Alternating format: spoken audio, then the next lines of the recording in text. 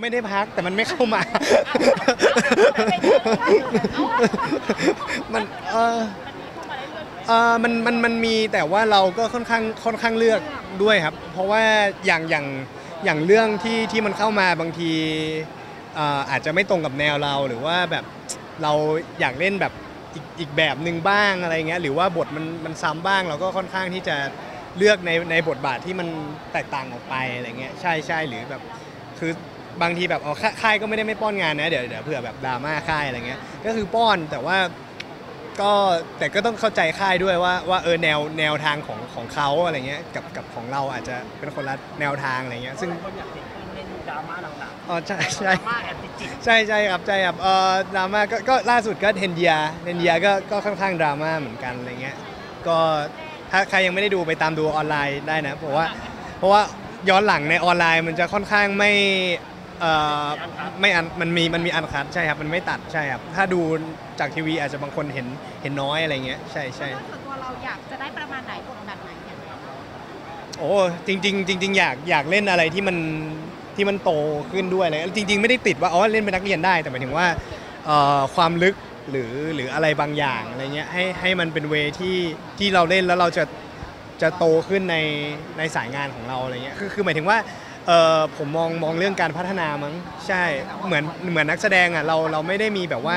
ตำแหน่งว่าแบบตอนนี้เราอยู่ตรงนี้นะ แล้วเราทำงานอีก 2 ปีเราจะเลื่อนตำแหน่งมันไม่ได้มีอย่างนั้นอะไรเงี้ยตั้งเป้าว่าจะใช่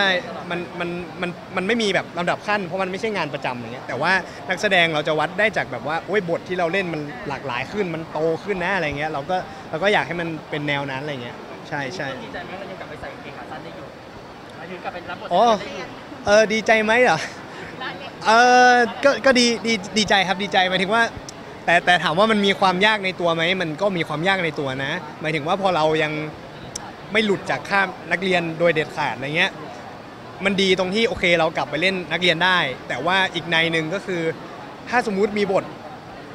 ธุรกิจใส่สูตรผูกไทยมันก็คงดูไม่เข้ากับเราอะไรเงี้ยมันก็คงยากมันก็คือกลัวคนไม่เชื่อเหมือนกันว่าเราจะมันยยากอยู่เหมือนกันครับคือหมายถึงว่าคือคือแสดงมันก็ส่วนหนึ่งแล้วก็ส่วนแบบว่าบุคลิกหรือว่า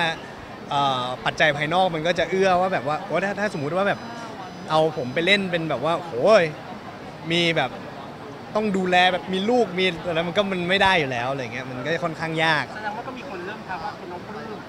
จะเรียนจบมาสักพักหนึงแล้วใช่ครับมันก็ยังเป็นน้องอยู่ฮะ ยังยังเป็นน้องอยู่เอ่ออยู่ที่ตัดผมด้วยมั้งเนี่ยก็เป็นคนตัดผมสั้นนะแต่จริง ๆ ถ้าถ้าผมยาวก็ก็ก็อาจจะอีกเวนึงอะไรเงี้ย อย่างนี้ถ้าสมมติเราได้บทที่มันโตขึ้นเราจะกดดันไหมว่าคนอาจจะไม่เชื่อในบทที่เราเล่นโอ้ไม่ไม่ค่อยกดดันรู้สึกว่าจริง ๆ รู้สึกว่าถ้าเกิดว่าพ่วงกับเขาเลือกอะนะ ก็คือเขาน่าจะเห็นว่า